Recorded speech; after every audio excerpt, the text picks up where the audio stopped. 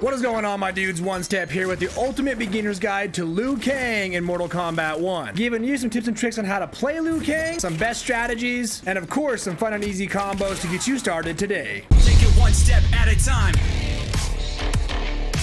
Remember to subscribe here for more Mortal Kombat content and let's get right into the goodies. Please pause your screen right here. This is going to be the universal terms that we use when describing moves such as 1, 2, 3, and 4, just so everyone understands what's going on. Okay, so let's go over Liu Kang's move sets and the strings of moves you're probably going to use most often and why. So right off the back, your back 2, 3 combo, that right there is your air pop-up. You have other pop-ups like your forward 1, 4 combo.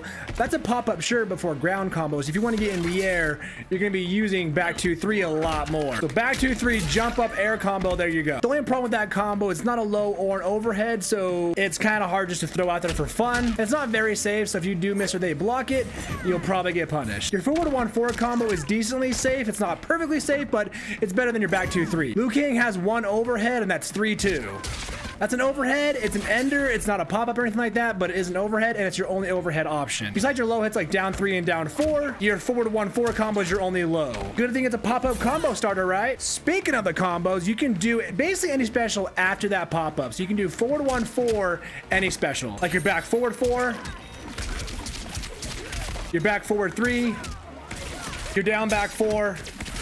Liu Kang is a great rush down character to get in your face like this. He's also got a good zoning tool. It's a projectile. He's got a low projectile.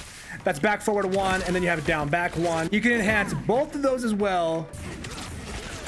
Keep in mind, enhancing your back forward three, this move, without enhancing it, you go right to your opponent. So if they block it, you're in their face and you're very unsafe. So I really wouldn't throw that out there if I were you. But if you enhance it, you see it's kind of a pop-up, which we can actually use in combos. You don't have a ton of low options. Keep mind your back four, your sweep here. It's pretty dang good. It's got good range as well. You see that there? Not like not, not like amazing range, but it's pretty good. You have some combos like this, like I said, but what are some combo enders? I'll show you a couple options. You can do back two, three in a row, twice in a row, into something else. You can do back two, three, back two, three, back two into a special. Any special, really.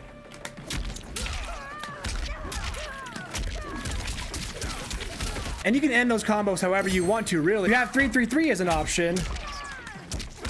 You have 4-3 as an option. You also have 4-4-3-4.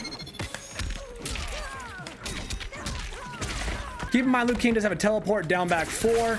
And why that's good is you can hold back and stay close to yourself to kind of bait out an attack and then punish them. So you can make them think, I'm going to teleport, attack you, psych, and then go in for the attack if you don't want to commit to the teleport. I really love your back forward four special move here. The kicks, love that move. Keep in mind when you enhance it, you gain armor. And it looks sick. So it'd be a really good wake up option because you do gain the armor on that, even on wake up. Also, side tip, Liu Kang's Fatal Blow is an overhead, which is great. So to recap, your forward one four is a great combo starter because it's a low. Your air pop up is your back two three, and you got a lot of good combo enders. Now, real quick, we'll go over Liu Kang's aerial attacks, his air combos. After your back two three ground combo, you can jump up, and you really have three options here. You have your deep impact, which is just a one two. Then you have your unstoppable one three four. Then you have two one two for the new future combo.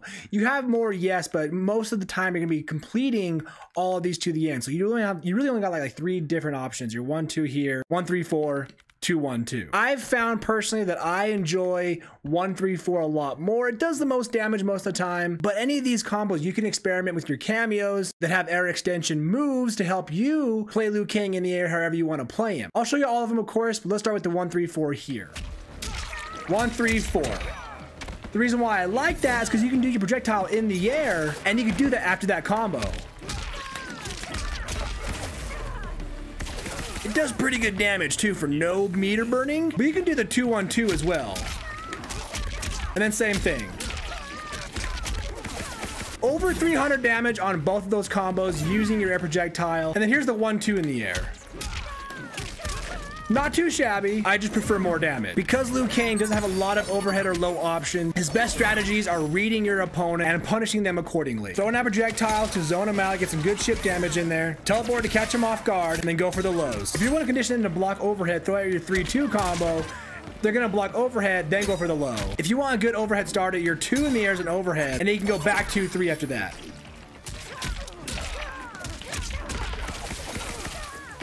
Three hundred and thirty damage with the jump in. Now for some fun and easy combos that you can use today.